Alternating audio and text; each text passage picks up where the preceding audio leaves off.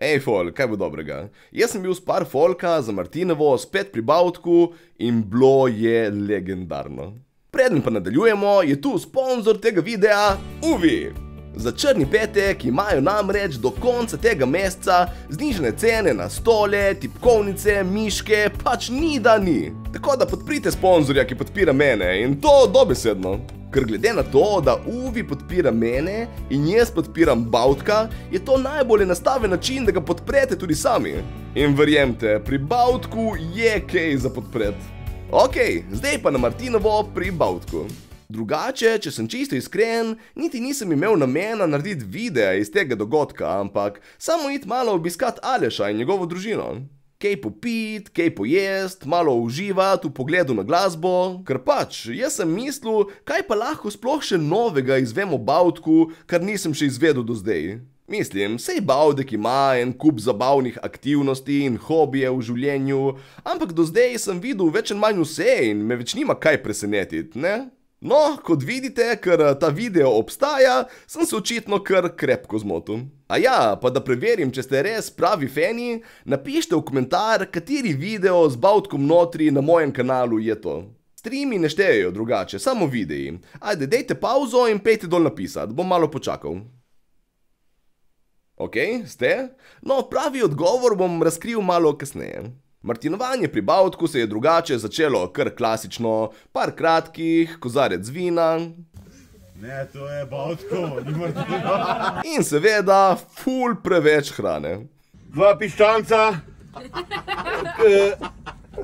Težko kot držim, dva piščanca, eh, vratovina, dve krače, pa rebr približno, ne vem točno, mislim, da je blizu 14-15 kg.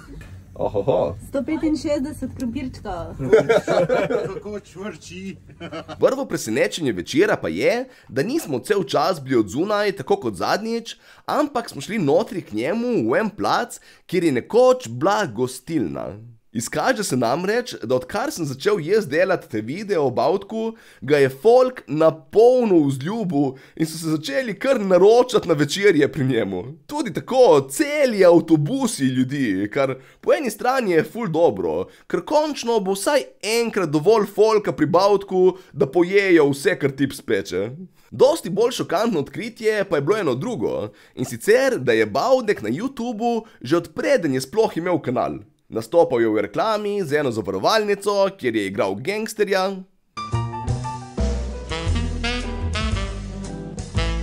Naredi, kar ti rečem, če nočeš končati pod črepnjo, pri Bautku. Ampak kar me je dosti bolj šokiralo pa je, da je Baudek nastopal tudi v enem videospotu, ki bi gledalcem mojega kanala mogel biti uh, kar znan.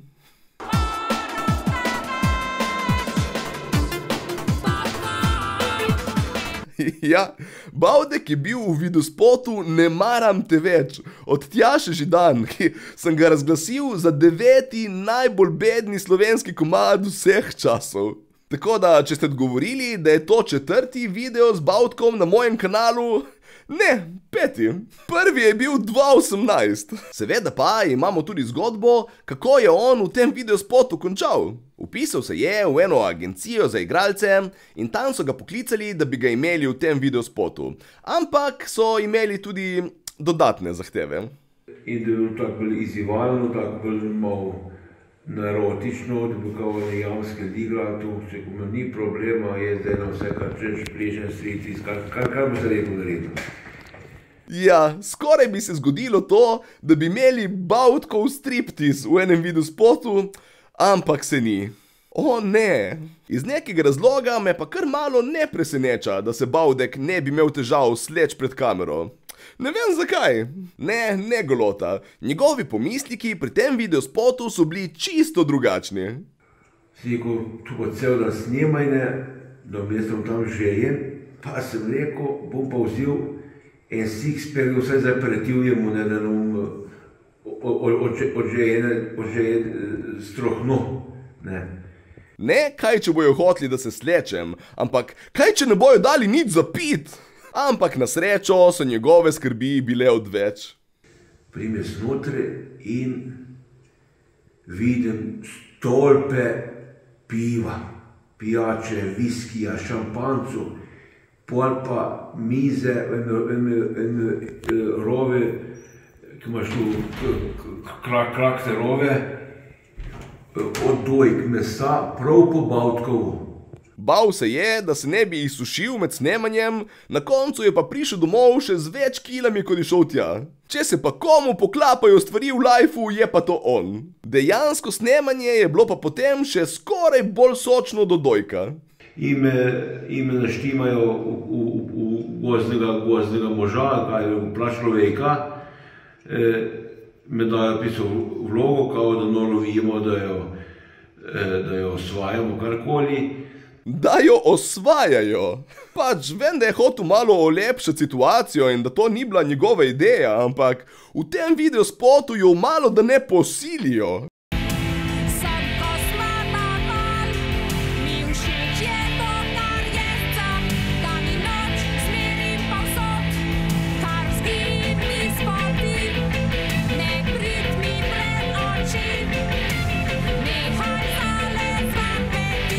Ženska se neki brani in brca, Bavdek in še par prisebnih tipov jo pa kar drži dol in šlata.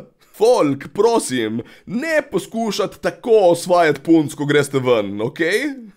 Dovoljno bo vse, razen, razen o- odtipavanja po intimnih predeljih.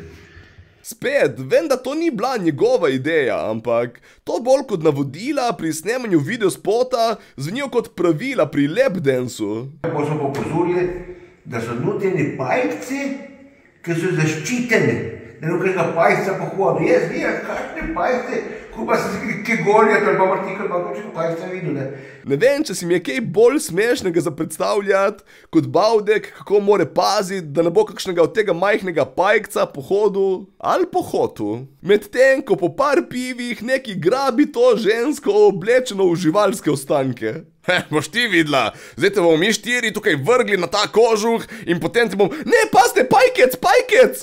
Tjaša Zidan je bila ženska dobrosrčna, pevka kakšna kokoli je, jaz bi dal samo kapo dol, da, je, da ima tako rajna, da se da, da je ta video spod speljala. Kljub vsej svoji dobroti in pozitivnosti, se niti Bavdek ne more prisiliti reči, da je Tjaša dejansko dobra pevka. Brez skrbi, razumemo. Najbolj nora stvar tukaj pa je, da to, da je Bavdek bil v videospotu od Tjaše Židan, sploh ni največje odkritje tega večera, ampak njegov smeh.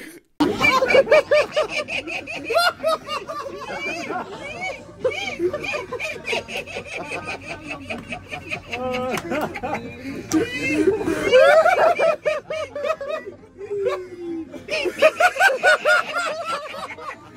da se ta 170-kilska mrcina hihita kot mala deklica, je nekaj najbolj smešnega, kar sem videl zadnje čase. In pol folka, s katerim se družim, so komiki.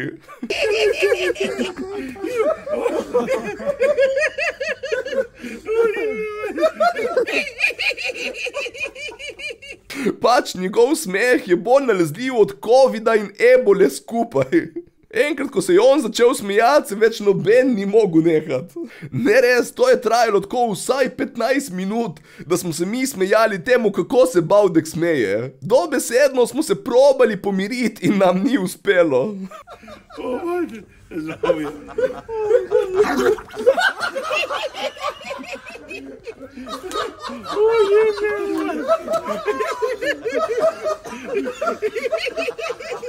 No, pol na koncu, ko smo se nekako pomirili od smeha, smo še nekaj spili, vem, šokantno. In na neki točki si je Bavdek probal gor moj plašč, unta jebački. Malo više, malo više, malo više. Evo, evo, evo. Čas sem poprosil, da je Ste po mojem naravnem veliko uskar. No, pa zdaj ne vem. Manj- Manjka Rekel bokser, ja. Roki se imam zapustili. Pač ta stvar je drugače ogromna. Jaz jo tako lahko skoraj enkrat in pol zavijem okoli. Bavdek jo pa nosi, kot da se je oblekel v otroško pelerino. Du alfa samec. Alfa samec! Pri Bavtku, pete se pri Bavtku. Res ne morem verjeti, koliko je pri tem človeku vsakič zabavno. Bavdek kar ne neha in ne neha presenečati. Zdaj mi že skoraj malo skrbi iti naslednjič do njega, da ne bom kaj še bolj bizarnega izvedel. Evo, tu je moj pornič in to je to. Res lepo bi se rad zahvalil Maji, ki je organizirala ta večer in sploh omogočila ta video. Thanks, Maja! Vi pa lajkajte ta video, če tudi mislite, da je Bavdek legenda. In naročite se na moj kanal, da ne ostanete brez svežih vsebin za hihitanje. Ajde, folk, čau!